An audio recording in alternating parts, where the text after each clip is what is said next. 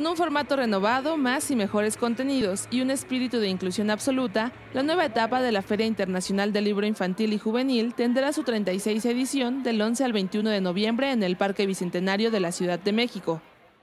Precisamente la multiplicidad de eventos que se han ido acumulando en los años, particularmente en estos tres, pues nos hace ya pensar en un espacio muchísimo más amplio entonces, después de un análisis muy concienzudo, se vio que el lugar adecuado era en el Parque Bicentenario en Azcapotzalco.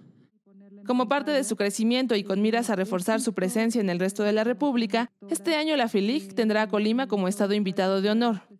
Colima, con su enorme tradición cultural, eh, con el mítico Comala de Juan Rulfo, con eh, una población que le gusta leer, con escritores que también tienen una enorme tradición y también artistas de artes plásticas como pudiera ser eh, Alfonso Michel. Yo creo que para esto, eh, esta noticia para Colima es una razón de júbilo, es un motivo para estar de fiesta y sobre todo para que podamos refrendar nuestras tradiciones y nuestra cultura como entidad federativa.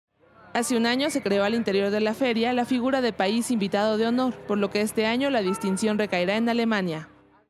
Quiero recordar que este año dual no es solo un año cultural, es un año que también habla de temas como em, la innovación, la tecnología, la sustentabilidad, la movilidad urbana, la educación.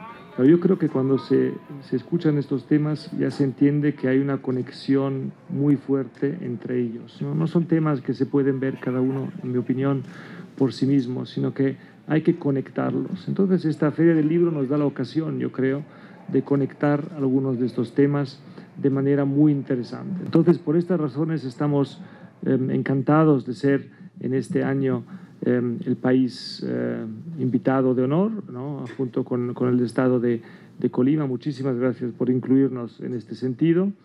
Con información de Juan Carlos Castellanos e imágenes de Raúl Monroy, Notimex.